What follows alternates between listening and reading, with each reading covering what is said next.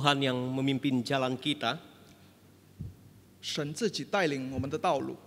Tuhan yang akan menyertai langkah setiap langkah kita memasuki tahun baru Imlek ini. 神引领我们进入了新的一年， Mari kita berpegang teguh pada anugerah Tuhan 让我们一起抓紧主道， yang akan 恩典 memampukan kita untuk melangkah di tahun yang baru.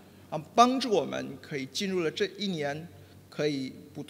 kepada jemaat sekalian saya mengucapkan selamat merayakan tahun baru Imlek. Mari kita akan belajar ke satu kebenaran firman Tuhan melangkah dalam anugerah.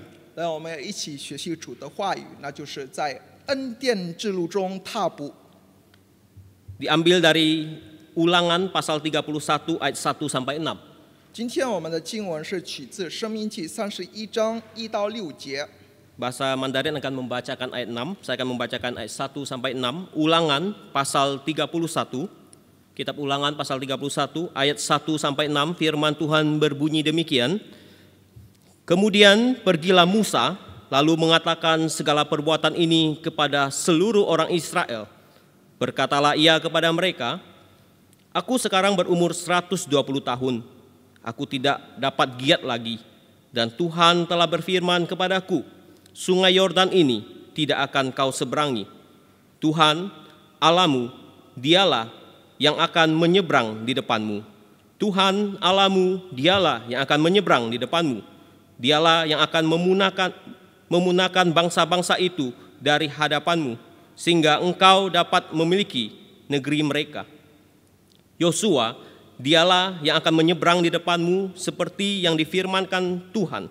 Dan Tuhan akan melakukan terhadap mereka seperti yang dilakukannya terhadap Sihon dan Ok, raja-raja orang Amori yang telah dipunahkannya itu, dan terhadap negeri mereka.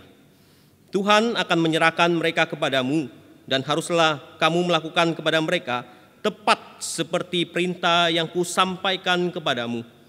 Kuatkan dan teguhkanlah hatimu, janganlah takut dan jangan gemetar karena mereka, sebab Tuhan Alamu, dialah yang berjalan menyertai engkau, ia tidak akan membiarkan engkau dan tidak akan meninggalkan engkau. 请不要胆怯，也不要惧怕，神一直与你同在，他会引领你们的道路。 Mari kita berdoa. 让我们一起祷告。 Tuhan kami mohon berkat atas firman yang sudah kami baca pada saat ini.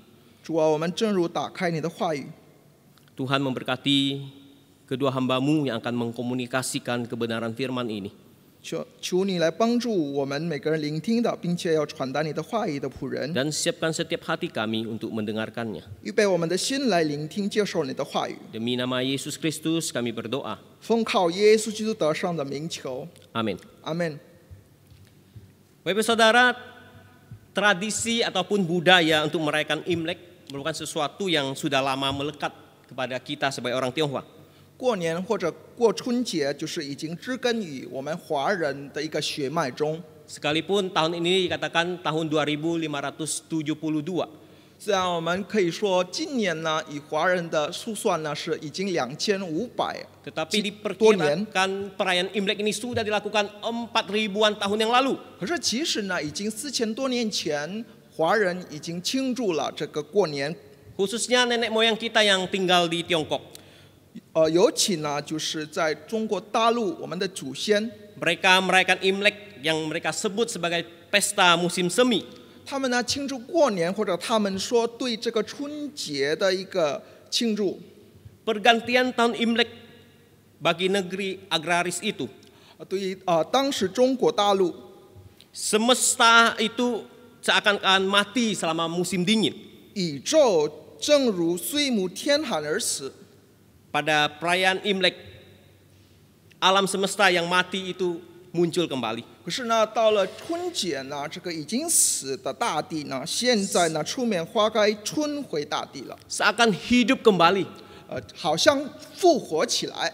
Bunga mulai bermekaran, 那春面开始花开了， tumbuh tunas-tunas muda. 很多新的一个花儿开朵了， Seringkali digambarkan seperti nuansa yang merah, 就是一个充满红色的一个环境， seperti yang dilukiskan oleh para sastrawan Tiongkok 很多文学形文学家所形容的。 musim semi musim yang merah 那春节呢，就是充满红色的 saat 一 itu 个 orang 时 saling 间。 bermaafan saling memberikan berkat satu sama yang lainnya rumah-rumah dibersihkan memakai baju baru warna merah anak-anak mendapatkan angpau merah 很多人呢就彼此原谅彼此，然后呢彼呃彼此祝贺。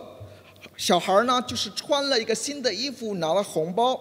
nuansa merah itu 这个红色的气氛 itu 呢， dijadikan sebagai simbol keberuntungan 作为一个大吉大利的这个这样的一个象征， ornamen-ornamen merah 很多红色的象征， pakaian dan aksesoris yang warna merah warna merah 很多衣服呢都是红色的， bahkan tanpa mereka sadari Bapak Saudara 他们没有意识的当 sebelum 中， mereka mengenal Kristus 他没有认识基督之前， mereka mempersembahkan darah 他们就是献上血， sebagai sembayang 做一个献祭。 dengan warna merah membawa harapan 红色带了盼望， membawa keselamatan 带了救赎， perlindungan 呃，保护， rezeki dan kebahagiaan 带了一个钱财和一个福气。 Baik saudara merayakan Imlek dalam arti literal itu melewati tahun 我们过年从字面的意思就是过了一年， Wo artinya melewati 过就是我们已经通过了， dan nian itu adalah tahun 年就是一个年纪， Sehingga ketika melewati tahun mereka saling bersalaman dan kongsi 所以我们过年了，我们可以成功过了一年，我们就恭喜彼此， mengucapkan 祝贺彼此 selamat satu sama yang lainnya 向他人说，哎，恭喜我们成功 Baik 了过 saudara 这一年。 sebutan kuanian atau kongsi itu mempunyai latar belakang mitosnya 这个过年和恭喜呢，背后呢有它的一个故事。 tentu kita tidak percaya pada mitos ini 当然，我们不相信这个传说， tentang ada seekor binatang yang bernama nian 有一只怪兽叫做年， kuanian berarti melewati dengan selamat dari ancaman binatang itu 所以呢，过年意思就是可以脱离了这个年怪兽的威胁， sehingga memberi selamat saling memberi selamat kongsi kongsi 所以我们彼此可以说，哎，我们已经可以救赎了，过了年。 Bapak saudara perhatikan hal ini 我们注意一下， seperti semangat memasuki musim semi yang baru 进入了一个春节新的一种 处境。 Baik saudara, perayaan Imlek adalah tentang semangat yang baru yang kita lihat. 那春节呢，就是有关于复兴、更新， Di mana pembaruan ini erat kaitannya dengan masa lalu, masa sekarang maupun masa depan. 这个更新呢，关涉到我们的过去、现在和未来， Yang terpadu dalam satu harapan, 啊，就是融化在一个盼望中， kedamaian, keberuntungan, dan kejayaan. 平安、成功、福利、荣耀。 tadi dapat kita sangkali bahwa semangat pembaruan ini ada di tengah-tengah kita. Ketika merayakan Imlek itu merayakan tentang semangat yang baru.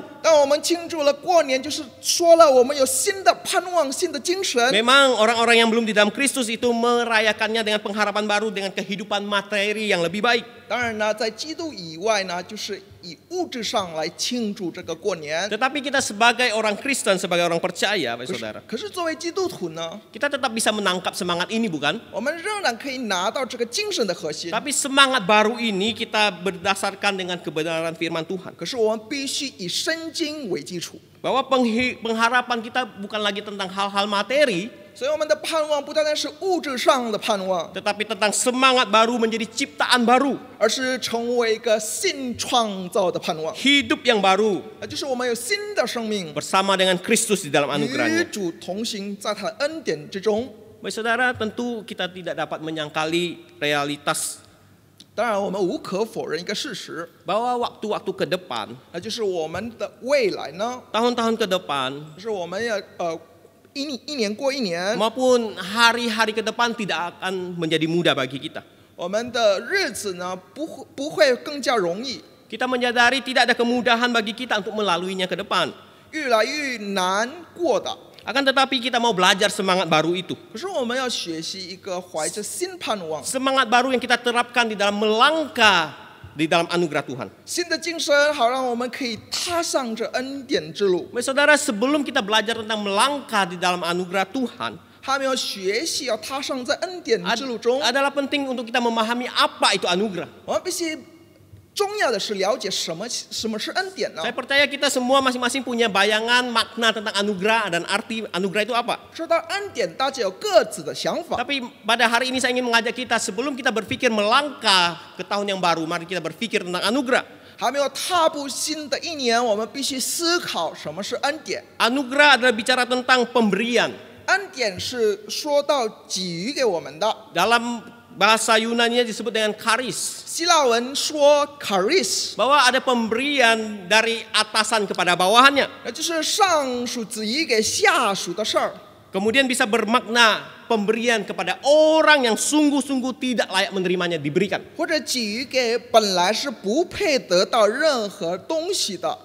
Saudara ini mengingatkan kepada kita tentang diri kita bukan?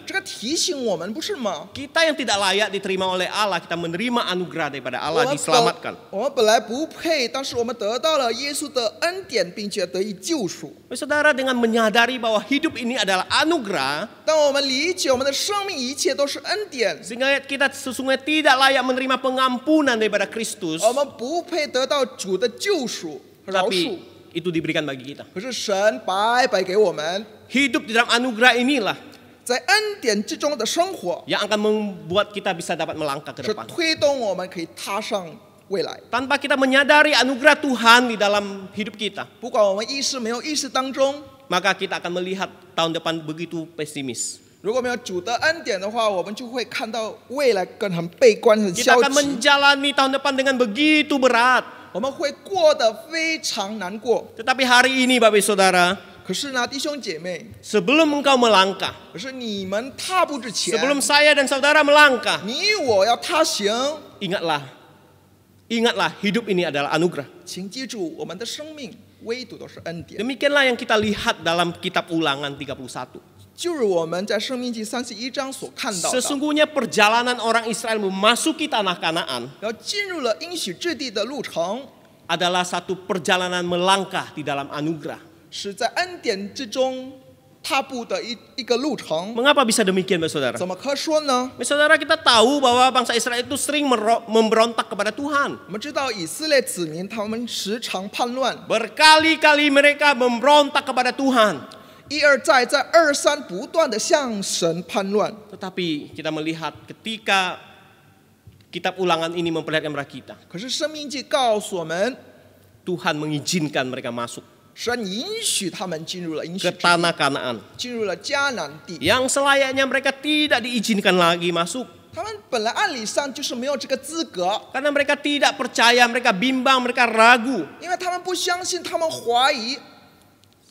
Sehingga saya boleh katakan, saudara, peristiwa bangsa Israel memasuki tanah Kanaan. 所以我可以说呢，就是以色列进入应许之地的路程， Hal ini semata-mata karena anugerah. 都是因着主的恩典 Baik,。saudara, jelas kita berbeda dengan bangsa Israel. 我们当然跟以色列呢有很大的区别， Konteksnya pun beda. 处境是不一样。 Mereka memasuki tanah Kanaan. Mereka mau melangkah ke tanah yang baru. 他们要踏进了一个新的环境、新的土地， Kita mau melangkah ke tahun yang baru. Tapi satu hal yang tidak pernah berubah. Yaitu anugerah Tuhan. Ya, saudara terkasih Tuhan. Seperti yang kita ketahui, sebenarnya bangsa Israel itu tidak perlu tunggu 40 tahun untuk masuk ke tanah Kanaan. Tidak perlu 40 tahun. 不需要四十年。 Saat itu mereka sudah sangat dekat dengan tanah Kanaan. 当时他们是其实已经很近了，进入这个应许之地。 Ketika pengintai Israel itu disebar untuk Pak- mengintai negeri itu, 但这个探子的和间谍呢，就是分散在这个应许之地， tapi mereka lebih percaya kepada kabar pengintai yang menakutkan. 但是他们就是更相信一个非常惧怕的消息。 Kabar-kabar pengintai mengatakan bahwa orang Israel itu seperti belalang di hadapan orang-orang tanah Kanaan. 探子说，就是以色列民跟迦南人对比的话，就是好像螳螂一样那么小， Mereka begitu takut.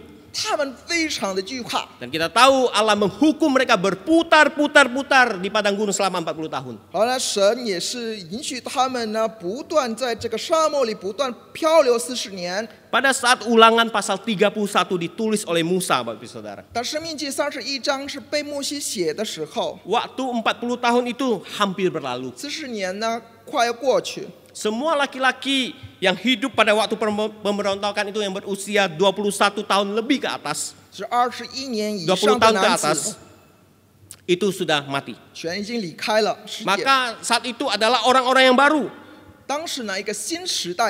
Generasi yang baru, umat yang baru 是新的子民， Mereka yang pada waktu pemberontakan itu masih kecil atau belum lahir pada 就 saat 是 itu. 在叛乱中，他们可能还没有出生。 Baik saudara, sebagai generasi yang baru, umat yang baru, 作为一个新时代、新的子民， mereka siap sekali lagi untuk masuk ke tanah Kanaan. 他们准备好要进入这个应许之地， Yang kita tahu dipimpin oleh Yos- Yosua. 是由于约书亚带领的。 Karena Musa tidak diizinkan masuk ke tanah 因 Kanaan 为摩 juga. 西就是没有被神即可进入这个应许之地。 Perhatikan saudara, Pak. Ulangan 31 menyatakan bahwa Musa mengulangi sekali lagi, sekali lagi tentang hukum Tuhan. 注意一下，这个有强调摩西在重复神的应许。 Sebelum pasal 31, perintah ketetapan perjanjian Tuhan diulang lagi oleh Musa. 律法诫命 以及各种各样的应许重新向他们诉说。 Sehingga kalau bahasa Indonesia disebut kitab ulangan. 所以呢，为什么印尼文说是一个生命记？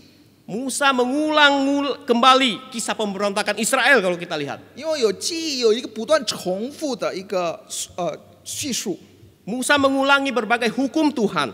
摩西不断的重复了神的律法， Konsekuensi melanggar hukum itu 就是这个 违反了这个律例典章的后果 supaya，mereka jangan berdosa lagi seperti nenek moyang 好 mereka. 让他们不犯罪，正如他们的先祖。 Eh, saudara, kita tahu begitu bebal bangsa Israel.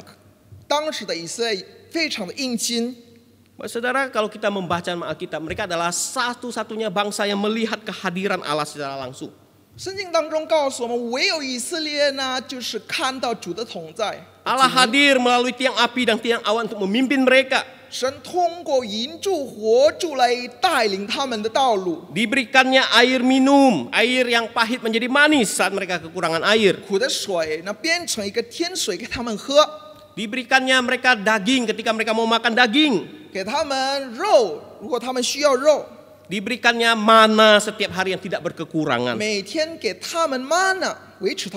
Dan berbagai-bagai perbuatan dahsyat Tuhan ada di depan mata mereka. 很很多伟大超然的事件呢，发生在他们当中。 Bahkan Musa katakan kasut dan pakaian mereka tidak menjadi rusak selama 40 tahun berjalan di padang gurun. 摩西说，四十年他们的衣服呢，从来没有毁坏。 Saudara, sampai di sini kita bisa melihat begitu luar biasa penyertaan Tuhan kepada 我 bangsa 们 Israel. 看到主呢的 大作为呢，非常的伟大。 Tetapi mereka tetap sulit untuk mempercayai penyertaan Allah. 可是他们还是很难信靠神， Mereka masih sulit untuk melihat Allah yang akan membawa mereka masuk ke tanah Kanaan. 看到神几乎好像很艰难， Tidak ada bangsa lain selain bangsa Israel 从来没有这样的一个民族， di mana Allah yang menyatakan dirinya dengan begitu jelas dan nyata. 就是向一个子民呢显示了他自己。 Tetapi wahai saudara, 可是呢， Tuhan tetap mengizinkan mereka masuk. 神还是允许他们进入了应许之 Karena 地 ini adalah kisah tentang anugerah. 因为这个是有关恩典的故事， Allah yang sabar. 是一个 非常容纳容纳大量大度的一个神， Allah yang murah hati dan Allah yang setia pada perjanjian. 海纳百百川，并且呢是充满慈爱的神 Saudara perhatikan apa yang dikatakan Musa kepada Israel. 注意一下，神怎么样向以色列人说？ Sebelum mereka melangkah masuk ke tanah Kanaan. 还没有踏进这个应许之地之前， Ayat 3 dikatakan dengan begitu jelas dan terang oleh Musa. 三节有一个非常 重要的事， Bahwa Tuhan akan menyeberang di depan mereka. 神要在他们的前面， Dialah yang akan menghalau bangsa-bangsa lain.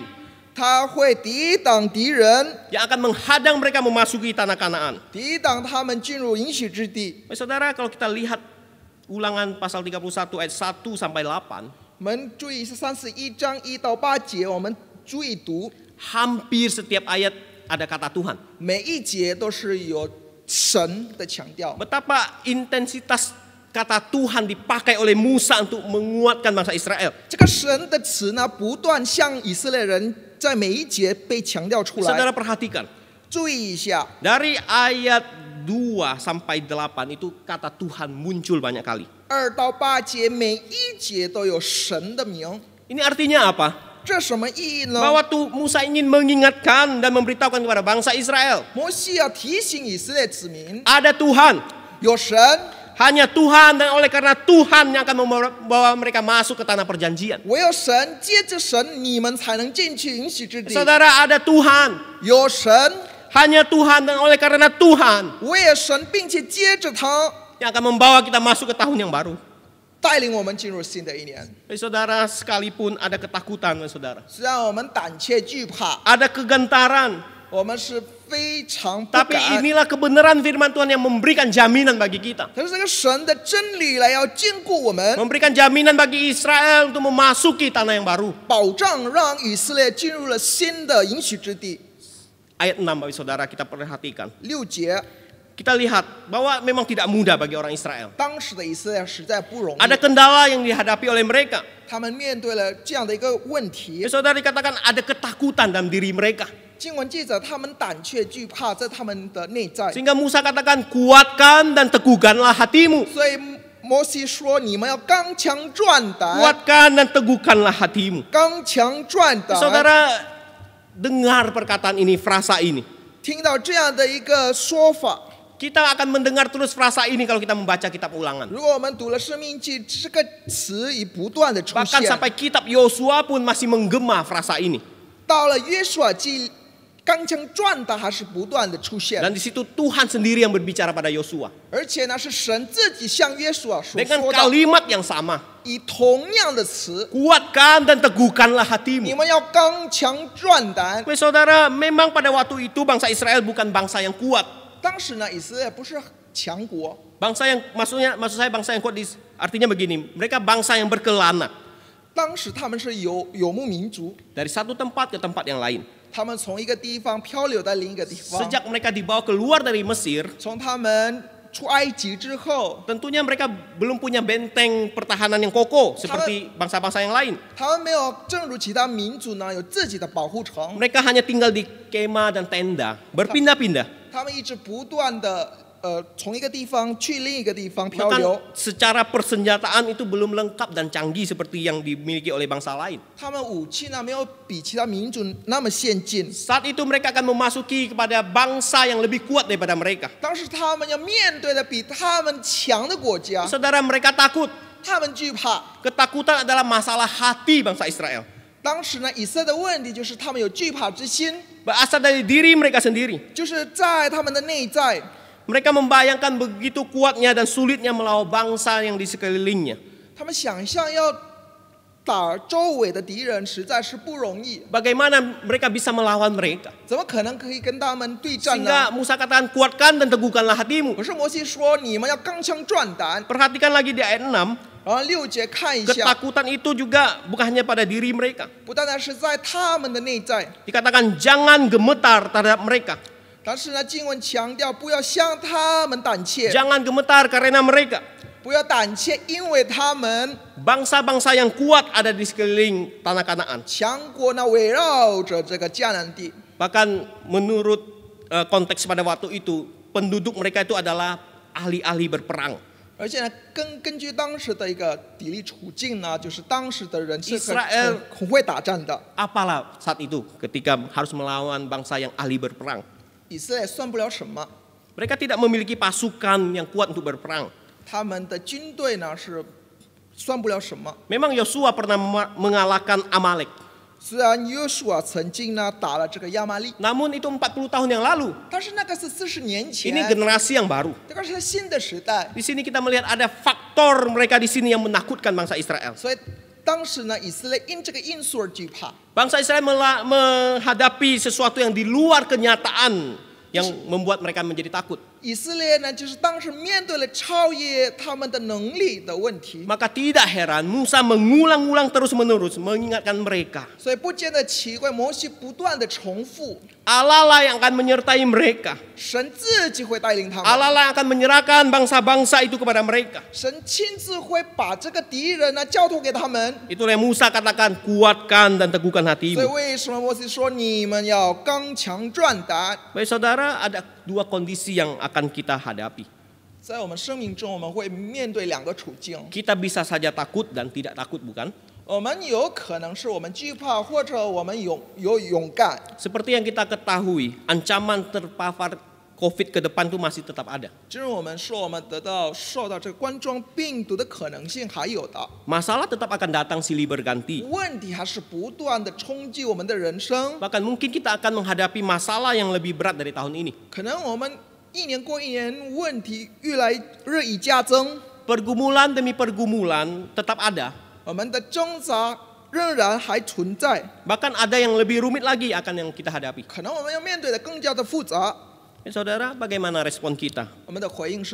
Melihat kenyataan di depan atau kenyataan yang mungkin akan terjadi dalam hidup kita. Memang ketakutan adalah hal wajar bagi kita. Namun ada ketakutan yang muncul karena hati kita.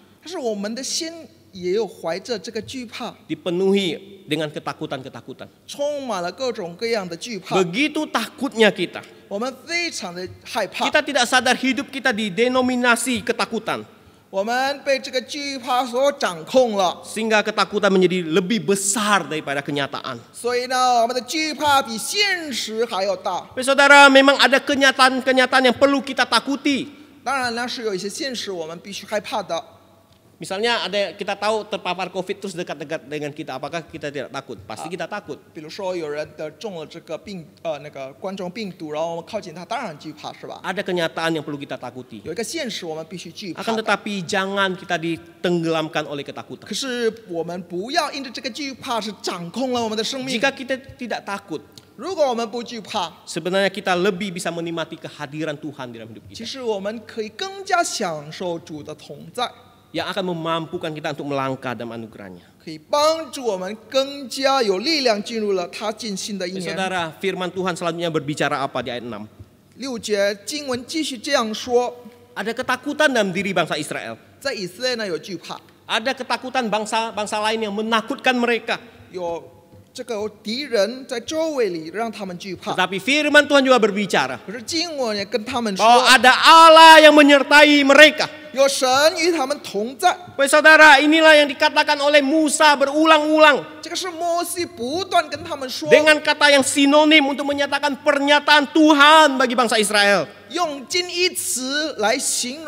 Katakan Allah yang akan menyertai mereka. Dia tidak akan membiarkan. Dia tidak akan meninggalkan. 从来不会离开你们。 Saudara, kalau kita baca frasa ini diulang-ulang terus-menerus. 我们看到这段呃词不断的重复出现， Perhatian masa Israel pada diri mereka yang takut. 他们只专注自己的时候， perhatian mereka kepada bangsa-bangsa yang lebih kuat daripada mereka. Tapi Musa katakan jangan lupa perhatian Tuhan kepada mereka. Saudara, bukankah ini yang sering kita alami?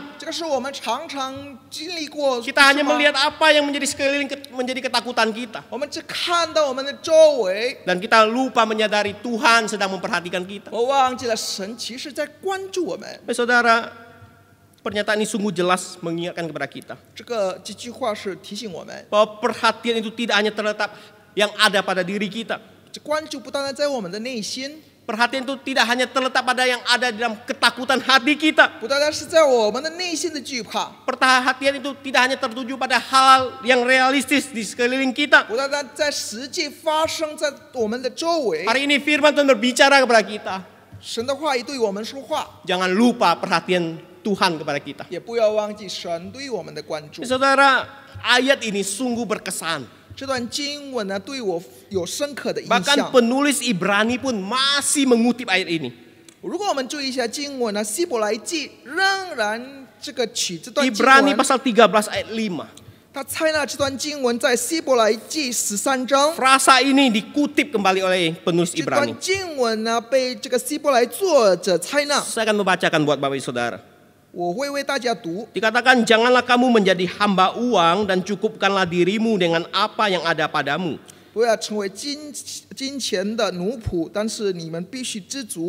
Karena Allah telah berfirman, aku sekali-kali tidak akan membiarkan engkau dan aku sekali-kali tidak akan meninggalkan engkau.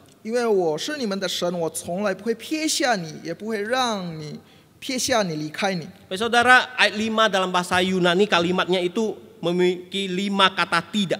从五节呢是有无次说到这个否定不出现， Sehingga dapat diterjemahkan begini, Bapak 所以 Saudara. 可以这样的翻译： Dikatakan, aku tidak akan, 我从来不 tidak mungkin membiarkanmu, 不可能离开你， juga tidak, 也不 tidak akan, 不可能 tidak mungkin meninggalkanmu. 不可能离开你。 Eh, Saudara, ini bicara tentang janji Tuhan. 这个是说到神的应许， Perhatikan, di dalam konteks Ibrani ini berubah. 在这个希伯来的处境有一点改变。 Ketakutan mereka bukan berada di medan perang, 当时他们的计划不是在这个战争的处境， tetapi ketika mereka menghadapi godaan cinta uang dan merasa tidak puas dengan apa yang mereka 可 miliki. 是他们面对的挑战就是 金钱的挑战、诱惑，以及他们不自主的挑战。 Memang latar belakang penulis Ibrani mengutip ayat ini bagi atau frasa ini itu tidak sama dengan bangsa Israel. 希伯来当时作者的处境跟以色列当时的处境是不同， Tetapi apa yang sama? 可是有什么同样的？ Janji Tuhan Bapak Saudara. 神的应许， Tuhan yang tidak akan membiarkan kita. 神从来不会撇下我们， Tuhan yang tidak akan meninggalkan kita. 他从来不会离开我们。 Bapak Saudara, inilah keyakinan yang Allah berikan kepada kita. 这是神要我们相信、信靠的， Inilah jaminannya bagi kita. 这是我们生命的保 Bahwa 障。 Tuhan ingin menenangkan ketakutan-ketakutan kita 神要让我们平静下来， dan memberikan kita keyakinan. 并且给我们信心。 Satu lagi Bapak Saudara, 还有呢， itu ters- tersirat di dalam nyanyian Musa. 而且呢，在莫西之歌这个已经显示出来， Ayat 10 dan 10 11十一节， dikatakan didapatinya dia. Dia ini Israel ya, di suatu negeri di padang gurun, 在这个沙漠， di tengah-tengah ketadusan dan auman pandang belantara. 在这个沙漠的危险中， Dikelilinginya dia dan diawasinya, dijaganya sebagai biji matanya. 可是呢，以色列呢，正如神的这个眼中的同人被保护， Laksana Raja Wali menggoyang bangkitkan isi sarangnya. 正正如这个两只扇展 Melayang di atas anak-anaknya. 借起雏鹰， Mengembangkan sayapnya menampung seekor. 让这个雏鹰可以飞， dan mendukungnya di atas kepaknya. Demikianlah Tuhan sendiri menuntun dia. Dan tidak ada Allah asing menyertai dia. Saudara, Musa sekali lagi mengungkapkan betapa Tuhan memperhatikan Israel. Dia tidak pernah meninggalkan. Dikatakan dikelilingi oleh Tuhan. 我们生命呢有神的同在，不断的围绕我们， Diawasinya. 他关注看我们， Dijaganya seperti biji 他 matanya. 保护我们，正如他眼目的同人。 Saudara, kita lihat berulang-ulang Musa menggambarkan penyertaan Tuhan. 神不断形容神的保护， Sekalipun mereka disipli- di, di, didisiplin oleh karena ketidaktaatan mereka. 虽然因为他们的不顺服之心而被处 namun selalu ada anugerah Tuhan bagi mereka. Ya, saudara, kalau Allah sedemikian beranugerah kepada kita, mengapa kita masih ragu melangkah bersamanya? Dia telah mengampuni kita, menyelamatkan, menebus kita, di mana kita seharusnya tidak layak menerima pengampunan. Penyelamatan dan penebusan daripada Tuhan kita. Saudara, Allah sudah melakukan itu dan memberikan anaknya yang tunggal bagi kita. Bagaimana kita masih dapat berkata Allah tidak peduli kepada kita? Bagaimana kita masih dapat katakan dia membiarkan kita? Dia tidak memelihara kita, dia tidak menyertai kita. Saudara, hari yang baru di tahun baru ini. Ini menjadi bukti bahwa Allah kembali memberikan kesempatan yang baru bagi kita hari yang baru. Sin merupakan suatu perjalanan hidup bersama dengan Allah. Hari yang baru yang akan kita jalani ini adalah perjalanan yang dipenuhi oleh anugerah Allah.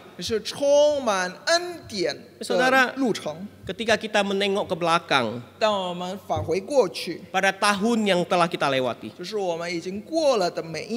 mungkin kita dapati ada kegagalan dalam kehidupan rohani kita.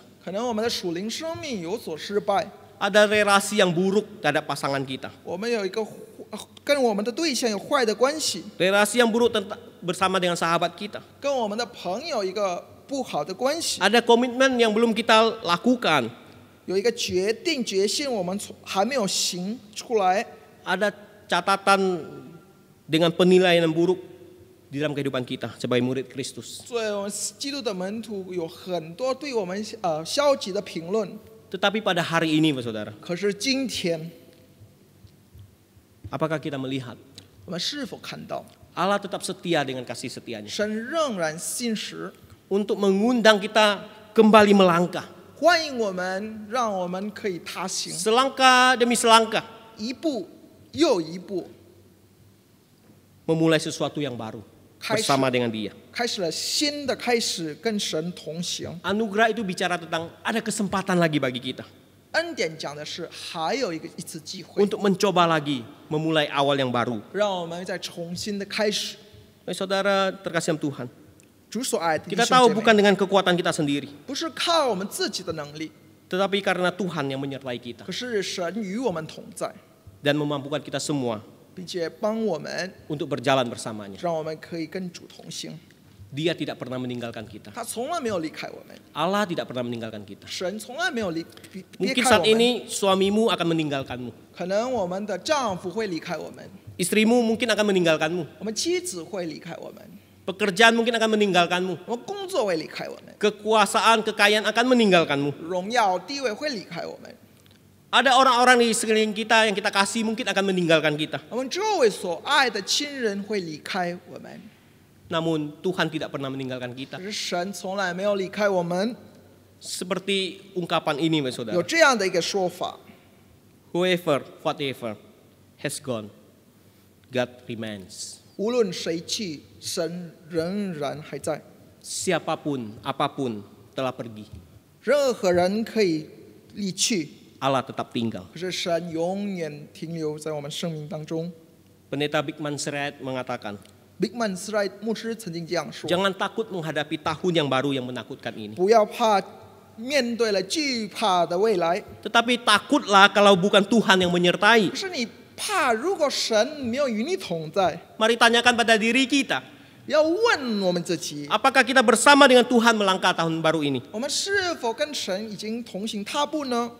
Ya, saudara, sesungguhnya Tuhan tidak pernah membiarkan kita sendiri. Kecuali kita yang meninggalkannya. Tuhan tidak pernah membiarkan kita sendiri. Kecuali kitalah yang meninggalkannya. Saudara, apakah kita sudah meninggalkan Tuhan? Dengan berbagai kesulitan yang kita alami tahun-tahun yang lalu. Membuat kita sudah kurang beriman kepada Tuhan. Kita ragu untuk melangkah lagi bersama dengan Tuhan di tahun yang baru. Tuhan bersama kita, baik saudara. Dia tidak membiarkan kita.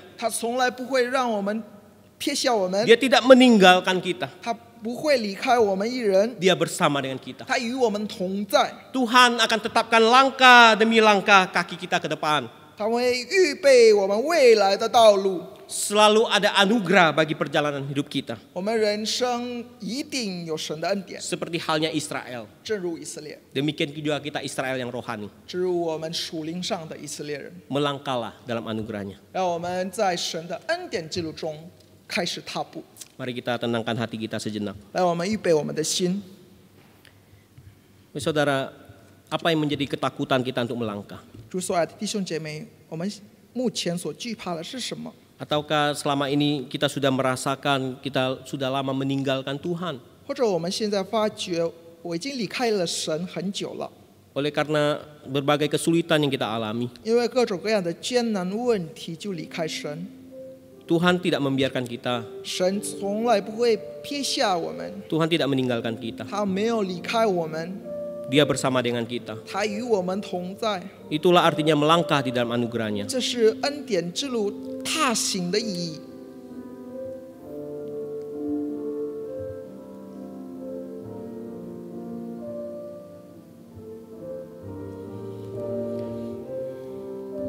Setiap langkahku ada anugerahmu Tangan kasihmu pandu di hidupku Setiap langkahku.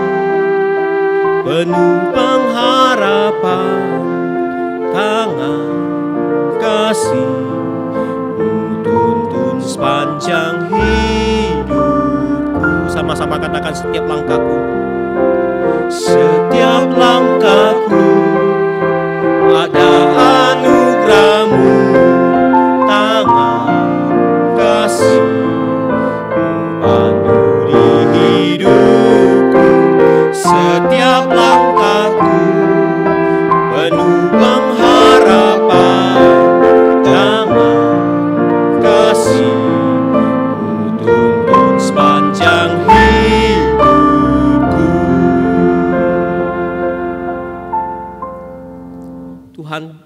biarkan kami menyia-nyiakan anugerahmu 主啊，不要让我们浪费你的恩典。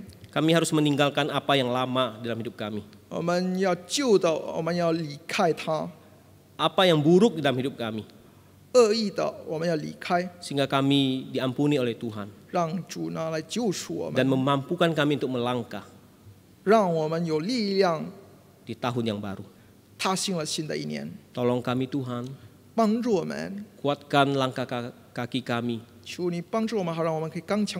Melangkah di tahun yang baru. Menghidupi hari-hari yang penuh dengan anugerahmu. Demi nama Yesus Kristus, kami berdoa. Amin. Amin.